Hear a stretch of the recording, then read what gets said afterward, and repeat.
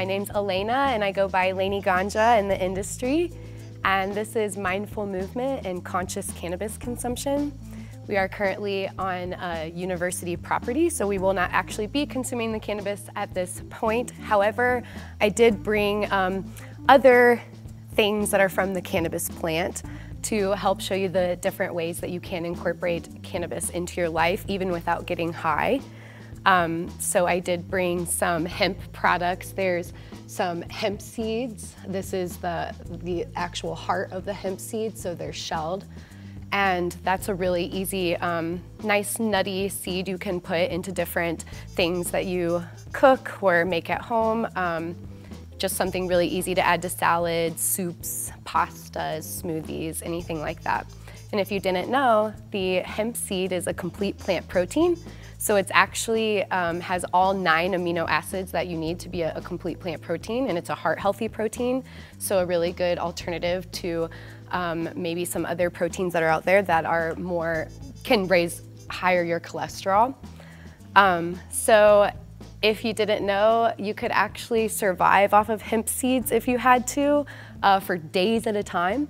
So hemp seeds are so nutrient dense that if you were stranded and had nothing else to eat, you could live off of a little bag of hemp seeds for a while, um, and that could be a savior for you. So I always say um, if you're ever stranded somewhere or you have like an emergency pack, you should totally put hemp seeds in your emergency pack. Um, they're just very rich in vitamins and nutrients. And then I also brought a little bit of hemp protein powder. So again, another really easy way you could incorporate it into smoothies um, and different uh, recipes that you might have to get some hemp protein into your life. I also brought some um, hemp tea. So that is just straight up organically grown hemp from Brighton, Colorado. And then they bag it up in a nice little tea bag and they have different um, flavorings that they offer. The particular one I brought is spearmint lemongrass. Um, and I would love to just pass this around so you can start to smell it and awaken your senses. So herbal tea, you know, you can think of other herbal teas that might benefit you in your life, and hemp is the same way. And uh, when CBD first started to come uh, be a little bit more mainstream and be talked about a little bit more, I remember thinking to myself, okay, I know that the hemp leaf itself, like the CBD that's in the hemp leaf, is not water soluble. So I thought to myself, well, why would I steep the hemp leaf if I know that the compounds in it aren't water soluble, they're fat soluble? And I was thinking to myself, would that even benefit me? So I did the ultimate test on myself, and I used to very much have to rely on um, like over the counter cramping pills for my period. I had debilitating cramps to a point I would be like in the fetal position or I'd have to cancel plans or miss work. Um, and the last time that that happened to me was in 2015. So that has not happened since I've started to incorporate hemp and CBD into my diet and actually utilized it in a very intentional way. Um, for all kinds of different things, you know, whether it's irritability or nausea or cramping, um, you know, just like a nice little mood boost. So that's what I've been using it for. I've had such good um, balancing effects from it. So these are just different ways that you can um, address your lifestyle and everything you can, everything you can consume and um, you know, incorporate more plant-based things into, into your diet. The other thing I brought are some tinctures, and this is made from pressing the hemp seeds, so you can get the oil out from the seeds, and it's just as nutrient dense as the seeds are. So the, the tincture oil is a cold pressed hemp seed oil combined with um, a CBD, a full spectrum CBD extract from the flower.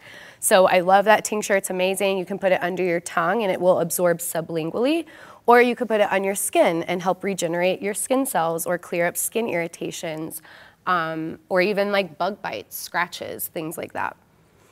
Um, for the next stage of activating our senses, I brought some things that we can use topically, but also uh, in an aromatherapy type way. So I brought some essential oils here. And this all ties in with the practice and with cannabis, as cannabis is a very sensual plant. It can really increase sensuality, and that's not even from like a sexual standpoint, that's just all your senses. So cannabis can make you know, listening to music that much more exhilarating, or dancing, just feel that much more, uh, that much better, um, or like the touch of the skin. You know, it just really heightens your senses. That's also why when um, maybe you smoke and then you eat food, the food tastes that much better. Um, so cannabis really ties into heightening our senses and getting into our sensual self, and this really can help kind of bridge that gap between the mind, body, spirit connection and just kind of align everything back together and, and provide a little bit more clarity and balance. So here I have um, three blends. I have lavender for um, nice calming feelings, um, can be good for anti-anxiety. And then I also brought some grapefruit. So this one's kind of more calming. We have the lavender for calming. We have grapefruit for more uplifting. So what I like to do before my practice is I might, whatever one I'm feeling called to, I might put that in my, on my wrist and do some nice deep breaths, or I actually might put it directly onto the soles of my feet. The soles of your feet, they're called the soles of your feet for a reason. They're actually a really great um, absorbent field as well as a field to release. So you release a lot out of your feet just as much as you absorb. And this is why walking around barefoot and getting yourself reacquainted to the natural vibrations of the earth can be so balancing. Um, you're really, you're reconnecting your bare feet with the earth and getting back into that um, vibration of the natural earth. So I am particularly feeling a little bit of both, to be honest. So I'm actually gonna just take one drop place one little drop right here on my foot. And the next one, I'm going to place one little drop on the other foot. And I'm just going to sit and connect with the soles of my feet and massage that in and, you know, just show my feet some love. We, we are on our feet. We do lots of things with our feet, and sometimes we don't stop to give our feet some love. They support us all day long. The entire goal of this practice is to help return empowerment back to the people. Um, we have become very kind of disconnected and disempowered um, in the wake of things like um, industrialization of our food or you know the rise of consumerism. Um, and we tend to we tend to be advertised to so much um, that it can really cloud our clarity and cloud our sense of self and make us think that everything we need is outside of us, when in reality, everything we need, we already have. It's already inside of us. If only we could clear the clutter enough to receive all the different lessons and messages that the natural world has to teach us. The natural world is our ally. Um, just like cannabis, cannabis is our plant spirit ally, just like these oils and the different plants that they came from, they're also our ally. So um, Talking about mindfulness and consciousness, you can really bring mindfulness and consciousness into literally every single thing you do and consume. Whether it's being on your phone, turning on the TV, making a meal, um, driving your car, consuming cannabis, literally anything. And when you bring this consciousness and this heightened mindfulness and this awareness to why you do the things that you do and who you are and what you're doing, um, you can really return a lot of empowerment to yourself and clear a lot of the clutter of the BS of the more synthetic world that we're living these days. So we live a very synthetic, um, we live in a very synthetic world to the point where we always have like synthetic lights on us. We have the technology coming at us from every direction. Um, it's just really, really easy to get out of your center, out of your groundedness, out of your clarity, and it's really easy to get sucked into all of that. Um, even myself, I used to have a huge um, shopping problem where I was I would get such a like high from shopping and but obviously that high would always go away and then you just want to keep doing more and more. It's just like drugs, like other different different things you can seek out and ultimately you're seeking it out to fill something like a void in you. Um, and so mindfulness and conscious consumption of everything is what has returned that empowerment to me to where I don't attach these things to outside of myself anymore. Um, and I've also used these practices in trauma it, for healing trauma and dealing with, you know, death and all the different things that we face. Uh, you know, life is like suffering. There is suffering uh, that in, innately and um, inevitably is going to happen but staying in that suffering is a choice. We do have the ability to move energies, um, even if something chaotic or horrible is happening around you, you can return to your breath, Sorry, I just hit the mic. Um, you can return to your breath and that sense of self and clarity and really help you in this chaotic world. So the very first thing we're gonna do, since we don't have, um, we're not gonna be consuming cannabis at this point, but what we're gonna do is just return to our breath. And if you do enjoy cannabis, you can take this breath with you as you consume cannabis and remember this breath and remember the um, empowerment and stillness and clarity that it provided you. And pairing that with cannabis can really take, take that to the next level. So let's get um, nice and seated. And if you have some flesh that's in the way, kind of pick that up and move that out of the way. We're just gonna sit with ourselves. If you, if you feel like you want to kind of tune inward, um, you wanna place your palms down. If you more kind of want to like receive energies, you would place your palms up. So uh, whatever's feeling called to you, go ahead and do that. And we're gonna begin to do a nice activating breath in our belly. So it's very common to breathe shallowly in your chest, and we're gonna try to get that breath as deep in our belly as we possibly can. So inhaling through the nose, begin to fill your belly up to a point where it's like actually expanding and filling all the way up. And we will inhale, pause at the top, and then activate the stomach to exhale everything out. If you can, we're gonna try to do an inhale for four, pause for four, and exhale for eight. So let's try to do this together. Activating in the belly, we'll inhale one, two, three, four, pause, two, three, four, and exhale. two, three, four, five, six, seven, eight. See if you can continue this for one to two rounds at your own pace and getting as deep in your belly as possible. As you are sitting here and you're supported onto the earth, make sure you're lifting your spine. There's space in between your vertebrae. There's, you could put like a book on your head. It's not necessarily lifted up or down. It's just really nice and even. And that is one example. If you did have cannabis, you would simply, on the inhale, you would inhale, fill yourself up with the cannabis, take a nice pause, and then exhale everything out from your core. Returning to our core in this way is very centering, grounding. If you think about it, your first meal was in your belly, in your belly button, in your umbilical cord. So this is a very, you know, source of life area, source of life and energy. So that's one example. Then we could move into alternate nostril breathing, which is awakening both sides of yourself. So um, in these practices, we never want to just favor one side. Whatever you do to one side, you're gonna wanna honor the other side and do that to the other. So here we just did a, a whole belly breath, but now let's do um, alternate nostril and we will go ahead and make this symbol with our hands and we're gonna use the thumb to plug one nostril, the pinky to plug the other. So that's like the mechanics of it. And we're just gonna plug and inhale, pausing at the top to switch, and in, exhale at the other side. Remaining on this side, now inhale. Pausing at the top to switch and exhale. Go ahead and now do this flow at your own pace and find your own rhythm here. Maybe you find one side's more blocked than the other. Just use this as insight about yourself.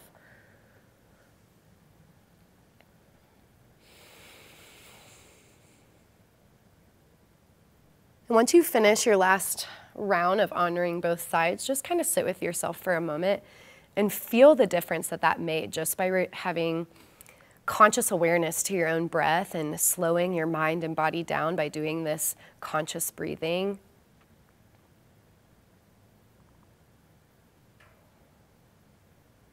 And feel what a natural tool and resource that that breath is. You know, we can return to that at any time, no matter what crazy thing is happening in this world we can find our own center and we can find our own clarity.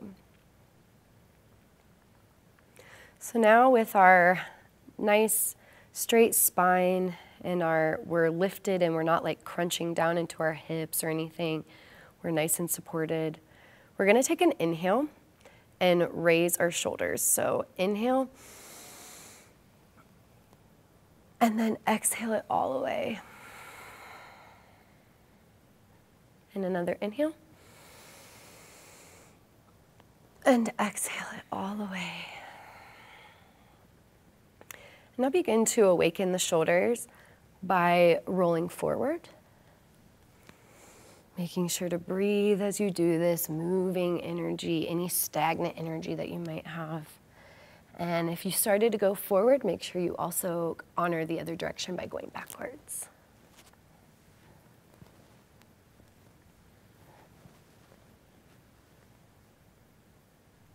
So let's go ahead and move to um, a tabletop position.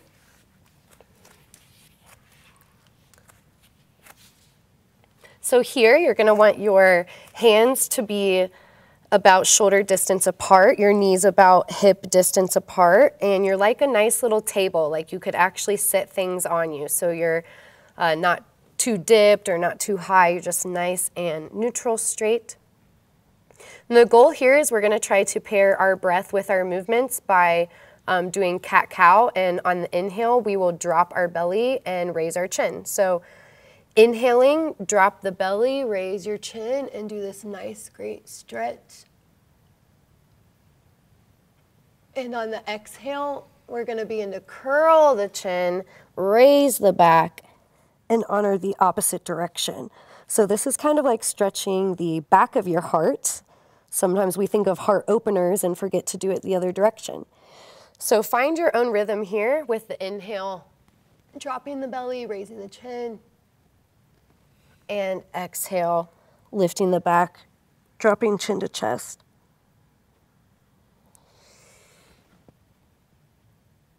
And when you're ready, you'll just kind of come back to neutral, bring your toes in together, and we're just gonna fall back down into child's pose and really release that down into the mat. You can spread your knees a little bit if you want to, if that feels good. Really bring your chest to the mat. You've walked your fingertips out in front of you.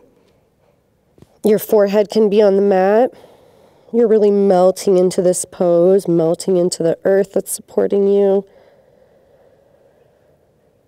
And you can then put your hands in kind of like a prayer position and then drop that back behind your head. And this creates a different sensation within this pose.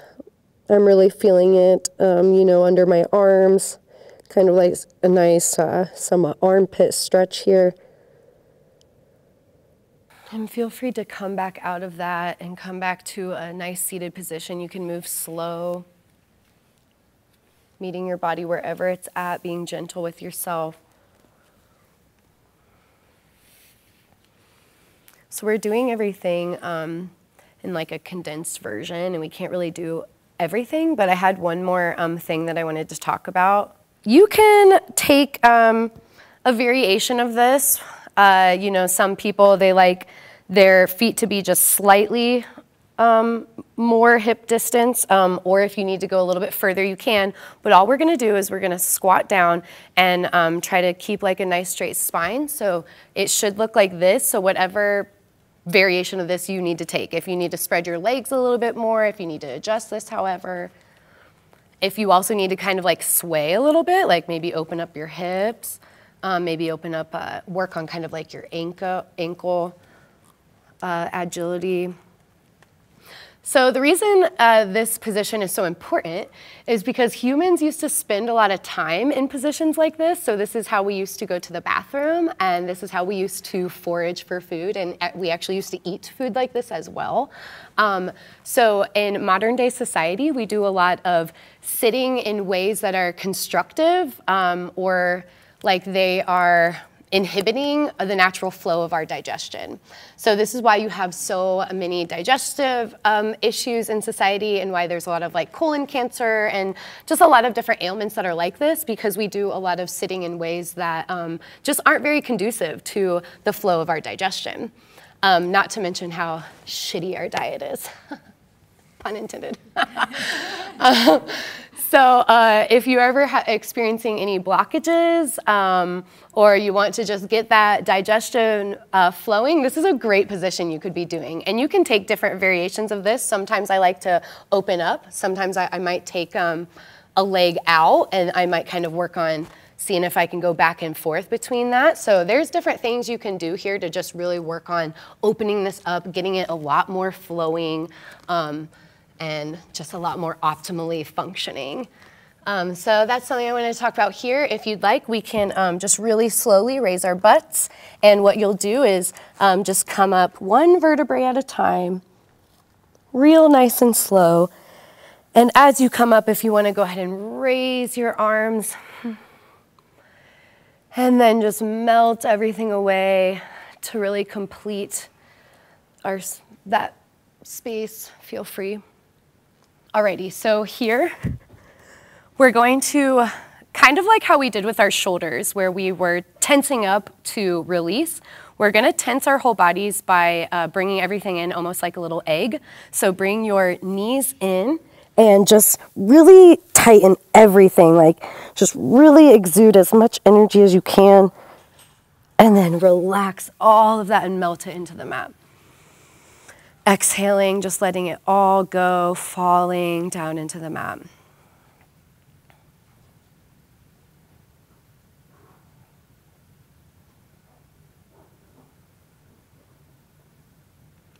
Feel your belly rise and fall in the breath that we talked about.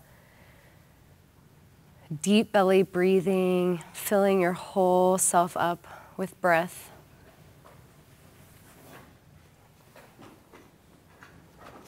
And go ahead and close your eyes and tune inward. And without actually moving and only bringing conscious awareness to it, just begin to bring complete conscious awareness to the entire right side of your body. Everything from your toes all the way up through your leg, your whole right side of your body, your right arm, all the way up through the right side of your face. And your whole right side is activated in this conscious awareness.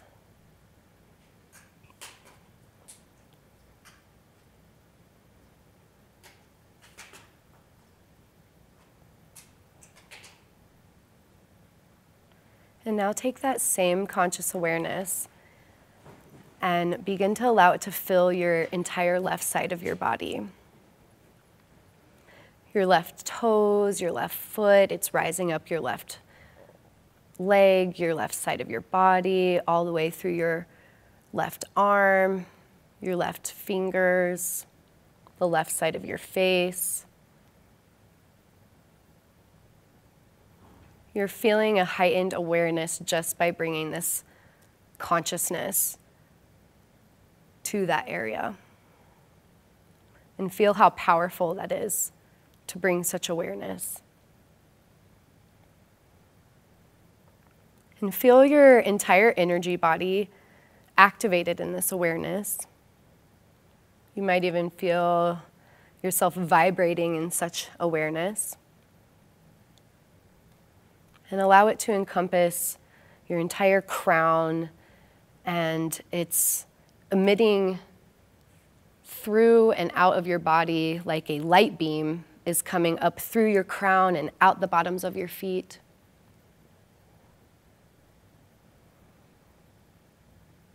And when you're ready, begin to raise your arms as if you're just reawakening for the first time, just waking up, feeling light and fresh and free in your energy body. And whatever side is calling to you, you can kind of slowly roll over to that side.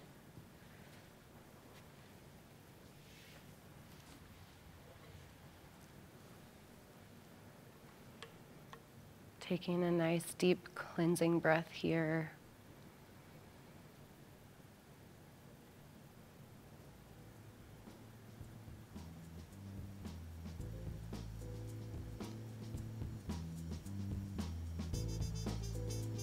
feeling held by the earth,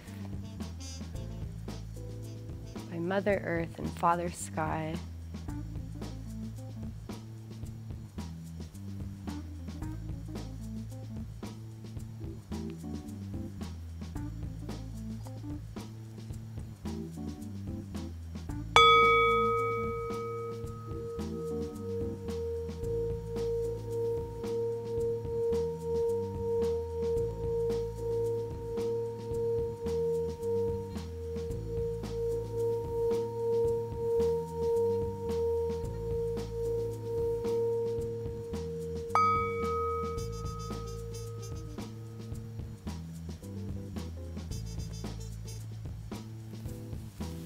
Ready, slowly support yourself as you come back to a seated position.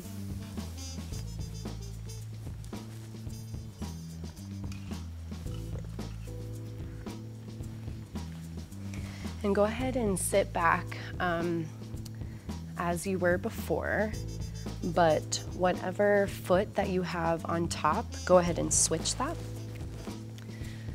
Helps us create new pathways new patterns, us be a little bit more flexible and less one-sided.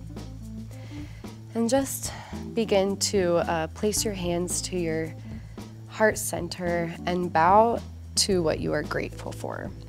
Whatever fills you with gratitude, any little thing, big or small, that you are grateful for.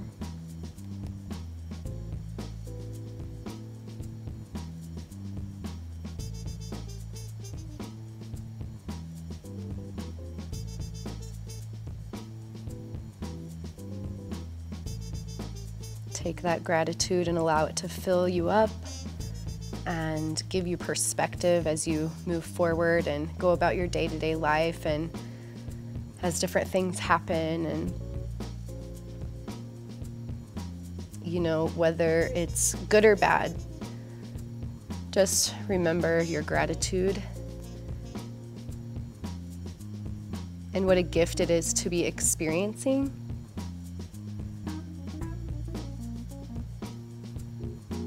and that there's no species on the planet that doesn't experience a form of trials and tribulations and suffering just to be alive.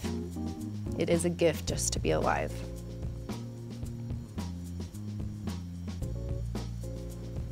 And I am really grateful for all of you. And I thank you so very much for doing this condensed practice with me today. And that does conclude the practice.